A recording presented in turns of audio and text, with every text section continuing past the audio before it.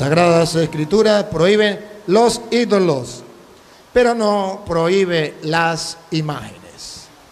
Veamos. ¿Dónde está el problema de los hermanos separados? En que confunde un ídolo con una imagen. Y ellos dicen que una imagen es un ídolo. Y eso no es verdad.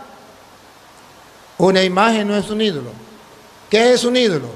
Una imagen que usted crea que eso es Dios. ¿Qué es un ídolo? Un hombre que usted crea que eso es Dios. ¿Qué es un ídolo? Un animal que usted crea que eso es Dios. ¿Qué es un ídolo? Un astro que usted crea que eso es Dios. ¿Qué es un ídolo? Un objeto que usted crea que eso es Dios. Eso es un ídolo. ¿Qué es una imagen? Una representación de algo de alguien. Una imagen que es algo que nos representa al papá, a la mamá, que nos representa al Hijo, que nos representa a un santo, que nos representa a la Virgen María, que nos representa cualquier cosa que no sea Dios. Y nos representa y no hay ningún problema. Por eso ustedes verán que la Biblia no habla de imagen latría. La Biblia no prohíbe la imagen latría. La Biblia prohíbe es la idolatría. ¿Y qué es un ídolo? Un Dios falso. ¿Qué es una imagen? Una representación de algo de alguien. Para que ustedes se den cuenta que la Biblia no prohíbe las imágenes, todos, católicos y no católicos, tenemos imágenes.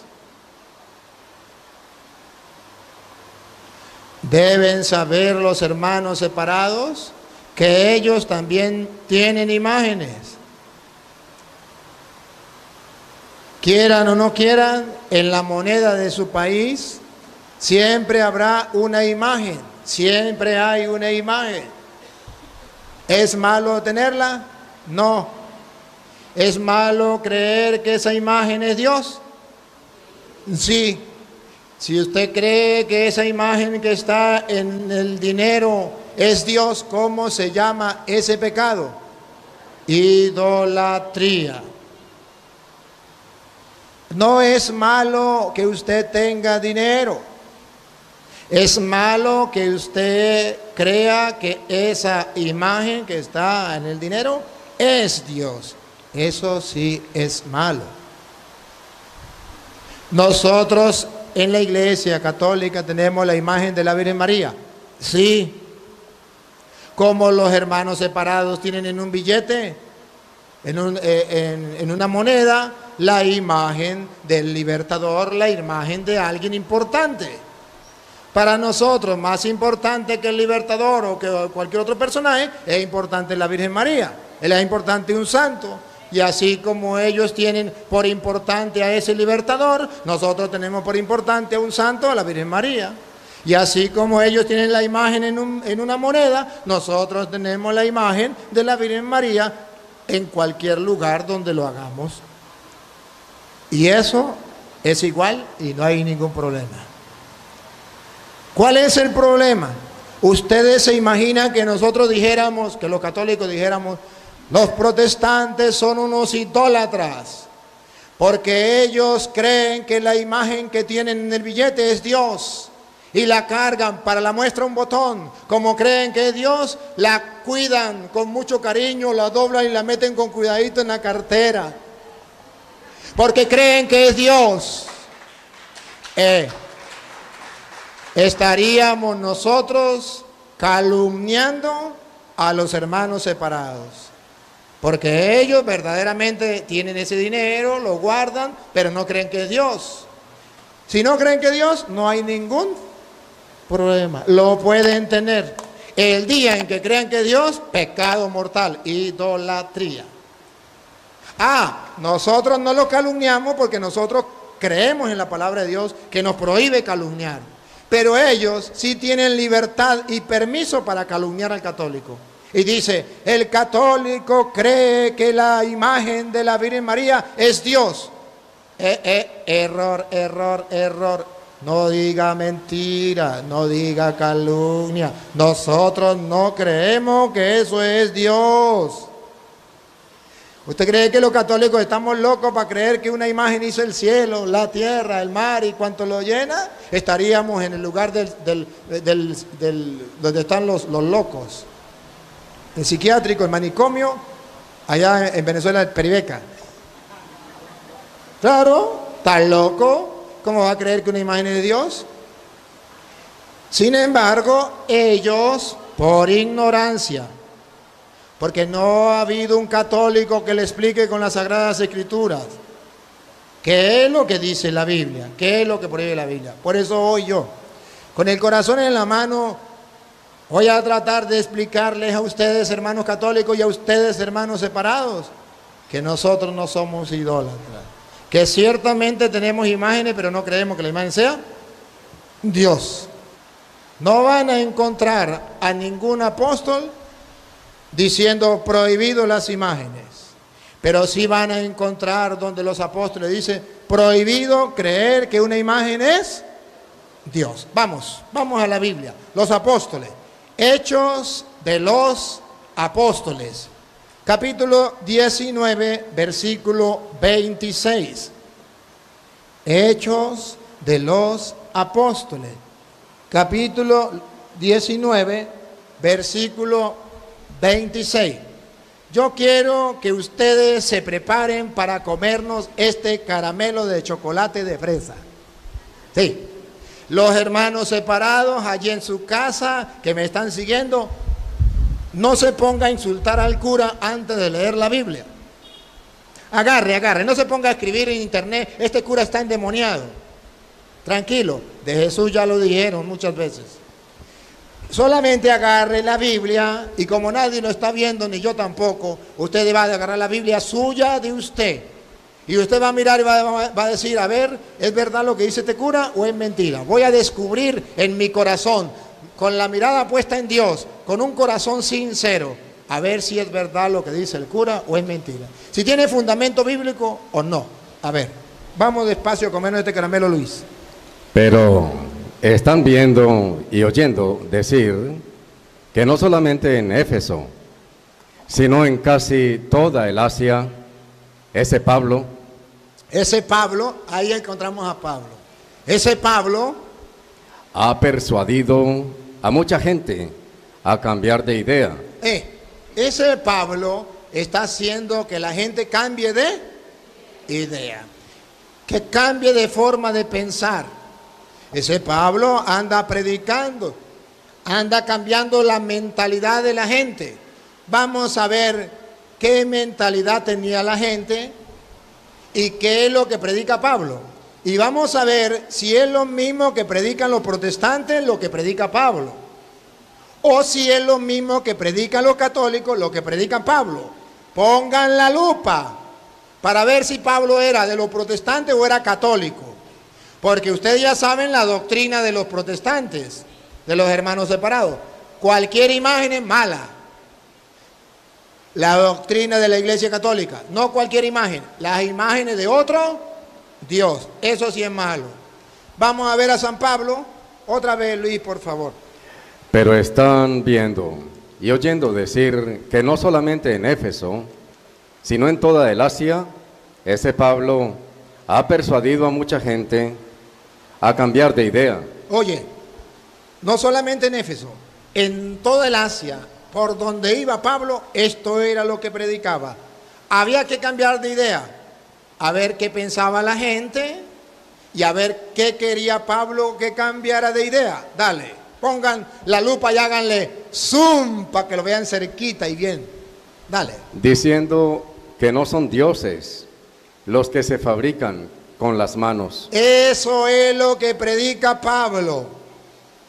Pablo le dice a la gente, cambie de forma de pensar. Lo que los hombres fabrican con sus manos no son dioses. ¿Cuál era la mentalidad de la gente? Que esas imágenes eran dioses. Y Pablo dice por toda el Asia, no solamente en Éfeso, no, Cambien de mentalidad. Esas imágenes hechas por mano de hombre no son dioses. Esa es exactamente la misma enseñanza, la misma doctrina de la Iglesia Católica en el mundo entero. Ninguna imagen es Dios. Yo quiero que ustedes observen que las Sagradas Escrituras van mostrando que en la Biblia, en el Nuevo Testamento y en el Antiguo Testamento, pero hoy nos centramos en el Nuevo Testamento, la predicación del cristiano es que no podemos creer que una imagen sea Dios. No solamente una imagen. El otro problema, cuando se cree que una persona es Dios, también es idolatría. Por ejemplo, Hechos de los Apóstoles, capítulo 14, versículo 11. No importa que no sea una imagen, porque los hermanos separados dicen que la idolatría es tener imágenes solamente. No, es tener imágenes de otro Dios, pero no solamente eso. También es idolatría cuando creemos que una persona es Dios. Vamos a verlo en Hechos 14, 11. La gente, al ver lo que Pablo había hecho, empezó a gritar en Licaonio, los dioses han bajado hasta nosotros en figura de hombres. ¿Escucharon? Repítalo otra vez. Los dioses. Los dioses han bajado hasta nosotros en figura de hombres. Otra vez, Luis. Los dioses han bajado hasta nosotros en figura de hombres. Acaban de ver ustedes cuál era la mentalidad del pueblo. Creían en muchos dioses. Por eso Pablo viene a predicar que deben cambiar la mentalidad, que no deben estar creyendo en otros dioses. Y aquí no se refiere a una imagen, se refiere a una persona. Allá en el que leímos ahorita se refería a una imagen de, la, de una diosa. Aquí se refiere no a una imagen, se refiere a la persona de, de Pablo y a la persona de Bernabé, que ellos lo consideran Dios. Ponga cuidado.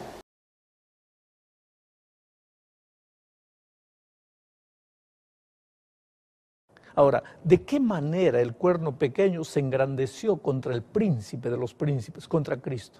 ¿De qué manera? Bueno, al usurpar abiertamente el oficio de Cristo como mediador entre Dios y la humanidad, el papado se exaltó a sí mismo contra el príncipe del ejército y cumplió lo que dice, segunda a los tesalonicenses 2.4, que dice, el cual se opone y se levanta, se levanta contra todo que se llama Dios y es objeto de culto, tanto que se sienta en el templo de Dios haciéndose pasar por Dios. La tercera actividad del cuerno pequeño es que quitó el continuo y echó por tierra el lugar del santuario de Dios. Eso dice Daniel 8:11. ¿Cómo fue que el papado quitó el sacrificio diario, el continuo, y echó por tierra el lugar del santuario de Dios? Bueno, al colocar la intercesión humana en las manos de los sacerdotes, al establecer el uso del confesionario y al decir que sacrifica nuevamente a Cristo en cada misa, el papado ha eclipsado el ministerio celestial de Cristo en la mente de los adoradores. Ahora los creyentes no se acercan directamente a Cristo, sino que van al sacerdote, a los santos o a María. Al sustituir el papel de Cristo en el santuario celestial por el servicio del sacerdote aquí en la tierra, el cuerno pequeño ha echado por tierra simbólicamente el lugar de su santuario. Y por lo tanto, lo ha profanado. En el sacrificio de la misa, el sacerdote romano se transforma en un alter Christus, en otras palabras, en otro Cristo, en el sentido de que él sacrifica al Cristo verdadero sobre el altar y lo presenta para la salvación de los fieles. Mira, las últimas ediciones del Catecismo de la Iglesia Católica muestran esto claramente. Observa esta declaración del Catecismo. El sacrificio de Cristo y el sacrificio de la Eucaristía son pues un único sacrificio. Es una y la misma víctima que se ofreció a sí misma entonces sobre la cruz, solo difiere la manera de ofrecer. Cristo se ofreció a sí mismo una vez de manera cruenta sobre el altar de la cruz y ahora es ofrecido e inmolado de manera no cruenta. Además, el sacerdote transforma el pan y el vino en la misma sustancia del cuerpo y la sangre de Cristo. Mira lo que dice el catecismo. Entonces, se lleva al altar, a veces en procesión, el pan y el vino que serán ofrecidos por el sacerdote en nombre de Cristo en el sacrificio eucarístico en el que se convertirán en su cuerpo y su sangre. En otras palabras, en obediencia a las palabras del sacerdote, Cristo desciende sobre el altar en cada misa. El sacerdote jesuita Franz Xavier escribió, Oh sacerdote, cuán sobrehumano y grande eres. Eres como Cristo, que ordenó a los vientos y al mar, y que caminó sobre las gigantescas olas. El sacerdote entra al cielo y toma al Hijo de Dios del círculo cerrado del coro angelical y todos quedan impotentes, no pueden evitarlo. Qué cosa terrible. Pero hay más.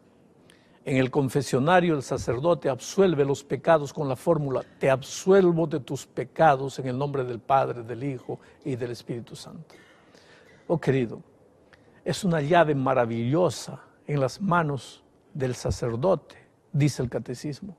Los obispos y los presbíteros, en virtud del sacramento de las santas órdenes, tienen el poder de perdonar todos los pecados en el nombre del Padre, del Hijo y del Espíritu Santo. Quiere decir, a través de tales enseñanzas, el poder religioso simbolizado por el cuerno pequeño, ¿qué hace? Hace que el ministerio de Cristo en el santuario celestial sea echado de lado en la mente de muchos cristianos. Y en su lugar es colocado qué cosa? Sustitutos engañosos. La misa y el confesionario alejan la mente de los creyentes cristianos de una continua dependencia del ministerio mediador del Salvador en su santuario. Complejas ceremonias, todas en nombre de Cristo, oscurecen el ministerio de Cristo en vez de confiar en la palabra inspirada y en el ministerio personal del Espíritu Santo, se les enseña a los hombres a depender de una iglesia infalible y un cuerpo pedagógico autoritativo y a recibir doctrinas falsas tales como la transustanciación, el purgatorio, la adoración de imágenes, la inmortalidad del alma, el sacrificio, la misa, la inmaculada concepción, en fin. Nuestro gran sumo sacerdote, que nos invita a venir a su trono de gracia y encontrar gracia para un oportuno socorro, encuentra que su intercesión perpetua es echada a un lado y que otros medios de alcanzar la gracia, otros mediadores e intercesores se interponen entre él y su pueblo.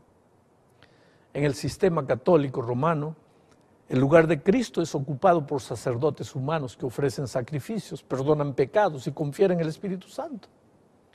La iglesia es llevada sobre los hombros del Papa y el corazón de María en vez de ir sobre los hombros y el corazón de Cristo. La mayoría de estos principios falsos se ha fortalecido a lo largo de los siglos, pero ninguno de ellos puede remontarse, ni siquiera en forma primitiva, a una fecha anterior al quinto siglo después de Cristo. Otra actividad más del cuerno pequeño, echó por tierra la verdad, dice Daniel 8:12. Jesús dijo de sí mismo, yo soy la verdad. Y al respecto de la palabra de Dios dijo, tu palabra es la verdad. Pero querido, desde el siglo XII en adelante, varios papas prohibieron el uso de la Biblia en el idioma del pueblo porque los valdenses y luego los protestantes la utilizaron para oponerse a las enseñanzas de la iglesia. El concilio de Trento en 1546 decretó que nadie podía interpretar las escrituras en forma contraria a la opinión de la iglesia, porque la iglesia era juez de, la interpretación correcta de las escrituras. Hoy, por supuesto, el cuadro ha cambiado. En 1943, el Papa Pío XII publicó una encíclica que animaba a los sacerdotes a estudiar y predicar la escritura a asistir a las asociaciones católicas dedicadas a propagar las escrituras en lenguas modernas y a animar a los laicos a leer diariamente la Biblia. Sin embargo, esto no significa que la Biblia es la norma absoluta de fe para la Iglesia Católica en la actualidad. El Concilio Vaticano II declaró que ella, la iglesia, siempre ha considerado y continúa considerando a las escrituras acompañadas por la santa tradición como la regla suprema de su fe, y que la teología sagrada depende de la palabra escrita de Dios tomada juntamente con la tradición sagrada como un fundamento permanente. Así, mientras que el liderazgo propone la lectura de la Biblia, personas sinceras aceptan la tradición como si estuviesen al mismo nivel que las escrituras. Mira, cuando hablamos del cuerno pequeño, debemos distinguir entre la institución del papado y las personas que siguen sus enseñanzas. Los miembros de la Iglesia Católica, incluso el Papa, son personas preciosas por las cuales Cristo murió. A lo largo de la historia, una cantidad innumerable de cristianos sinceros y devotos han sido miembros de la Iglesia Católica. Elena de White escribió, hay cristianos verdaderos en cada iglesia que no conocen el origen del día de reposo dominical y creen que están observando el día que Dios santificó y bendijo. Esto se aplica incluso a adoradores dentro de la Iglesia Católica.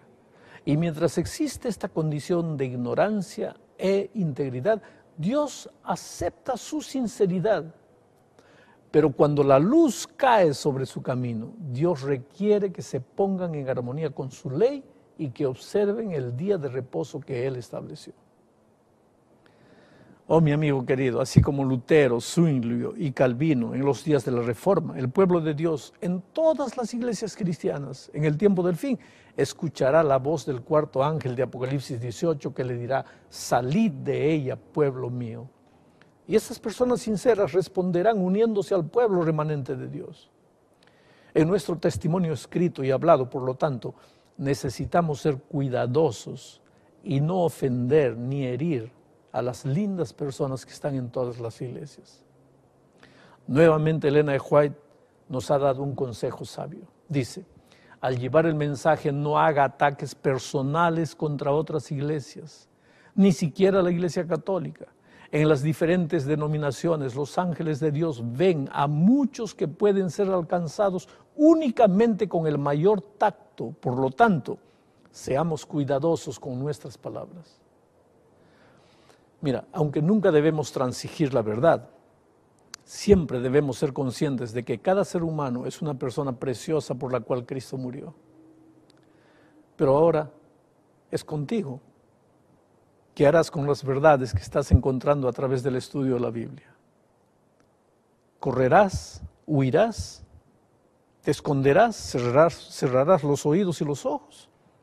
¿O abrirás el corazón a Jesús? La respuesta solo está en tus manos.